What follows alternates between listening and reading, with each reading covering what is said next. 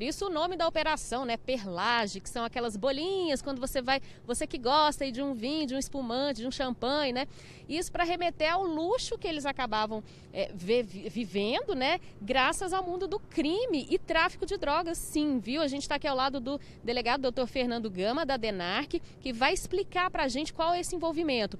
Boa noite, delegado. É, uma, uma farmácia era uma farmácia de fachada e ela revendia ou recebia insumos usados para refino de droga, era isso? Isso. Na realidade, é uma, uma investigação que iniciou-se, né? pela Delegacia de Crimes contra a Ordem Tributária, né? Foi capitaneada por essa delegacia. Em um determinado momento constatou-se que tinha pessoa jurídica voltada para essa questão de fornecimento de insumos para fabricação de drogas. Então, tem verdade, cafeína, tem é, é uma outra substância? Lidocaína, cafeína e fenacetina, né, que eram utilizadas, são substâncias usadas nessa fabricação e preparo de droga. E essa farmácia ela servia ali para disfarçar tudo. A farmácia tinha uma pessoa jurídica, né, que, que adquiria esses produtos, né, e a partir daí repassava para uma farmácia que não tinha autorização legal para atuar nessa seara, porque não era farmácia de manipulação, e esse, e esse insumo chegava para traficantes de droga. Aí a gente fala do tráfico nu e cru, mas tinha uma outra questão também de saúde pública, que era a revenda aí de testes para Covid-19, ivermectina. Por, por meio da delegacia da DOT, né, constatou-se que tinha questão de fraudes tributárias, que estavam emitindo notas fiscais fraudulentas, além da questão de estar agindo, né, é, e, e indo de encontro né, à legislação sanitária. Então aí foi constatado também essa fraude por parte de uma pessoa jurídica, enquanto a outra pessoa jurídica atuava, fazia chegar esses insumos para o tráfico de droga.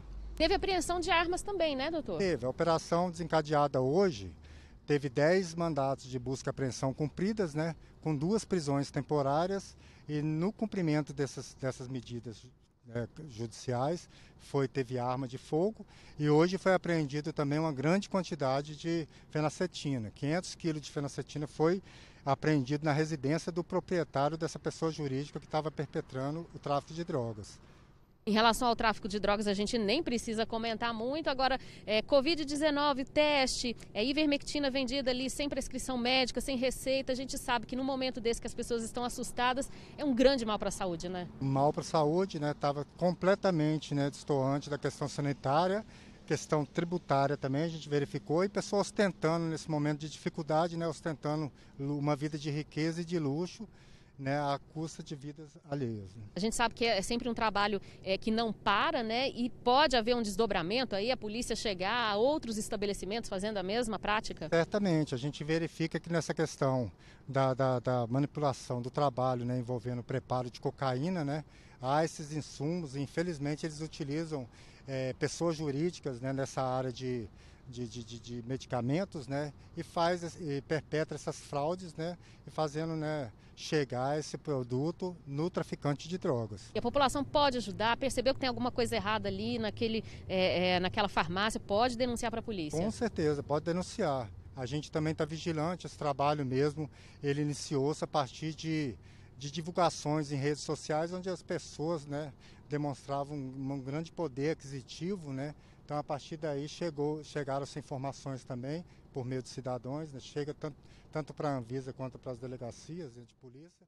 E a partir daí desencadeou-se essa, essa investigação. Essa farmácia de fachada ficava onde? Essa farmácia de fachada ficava na cidade de Senador Canedo. Verificou-se que essa farmácia era tão somente para formalizar toda essa, essa questão da, da, do trânsito desse medicamento.